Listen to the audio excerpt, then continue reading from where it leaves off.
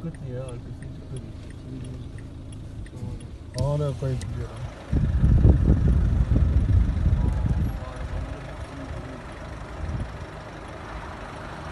Şu anda araç kaymakta. Evet, Serinsar yolunu kapatmış durumda. Hızlanma var.